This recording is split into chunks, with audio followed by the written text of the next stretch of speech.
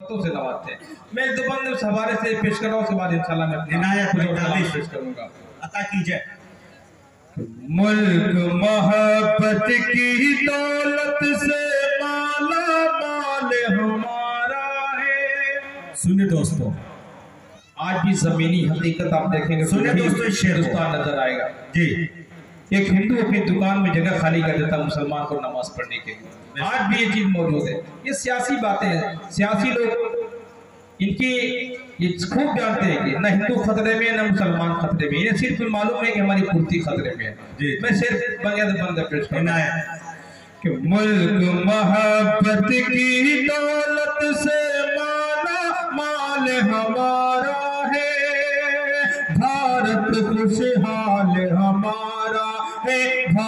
भारत खुशहाल हमारा है। भारत खुशहाल हमारा है। भारत खुशहाल हमारा है।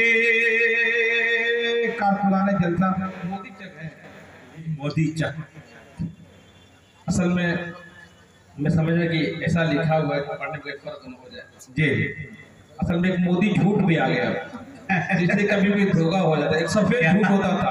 एक झूठ होता है एक सफ़ेद झूठ एक मोदी झूठ भी आ चुका है। सफ़ेद झूठ के पड़ रहा बड़ा मेरा जहन उधर ही चला गया था। ये समाज और माने हाफिज अब्दुल रहमान साहब इमाम खतीब मस्जिद मोदी चक और हमारे मुफ्ती मोहम्मद असगर साहब बकिया रानी चक हाफिज उमर फारूक साहब मोहम्मद अफसर साहब मोहम्मद अजद साहब अमजद साहब। आप लोगों के हवाले से मैं ये बंद पेश कर रहा हूँ। कि भारत खुशहाल हमारा हमारा है।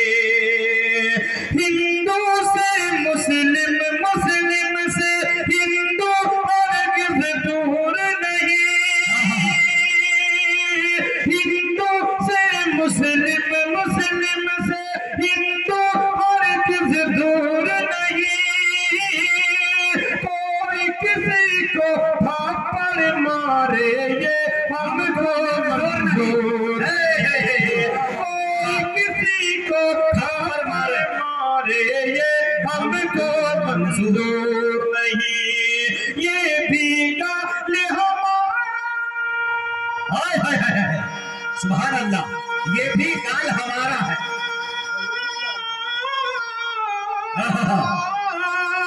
ये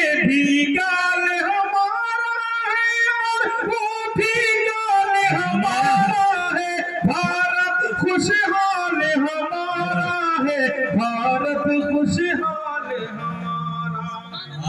आवाज़ थोड़ा बड़ा इको दे रहा था इको जो रिपीट होती है थोड़ा उसको करो।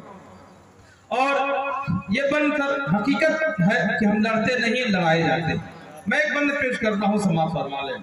हमारे बिलखसूस में ये बंद मोहम्मद सगीर साहब मोहम्मद अज़ीज़ साहब अब्दुल कुद्दूस साहब मोहम्मद जाबिर समेती बकिया रानी चक मोहम्मद बबलू साहब अली हुसैन साहब मोहम्मद हसीब साहब मोहम्मद हसीब हबीब साहब सर में कभी उर्दू जो की राइटिंग बहुत खतरनाक होती। बहुत महारत चाहिए उर्दू पढ़ने के लिए।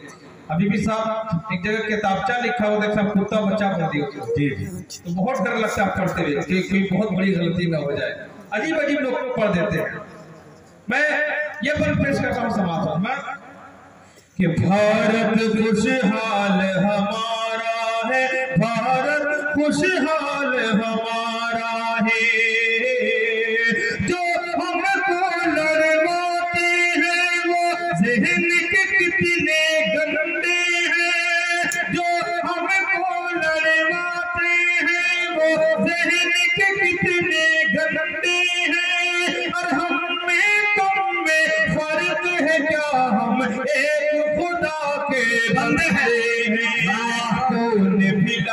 तुम्हारा है, और भी लाल हमारा है।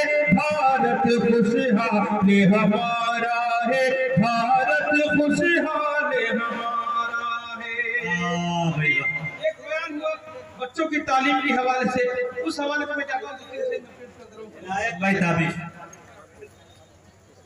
कि अपनी जन्नत में भी रख सकते नहीं, अपना अल्लाह अल्लाह आय है। कि अपनी जन्नत में भी रख सकते नहीं अपना कदम। अपनी जन्नत में भी रख सकते नहीं अपना कदम। आदमी को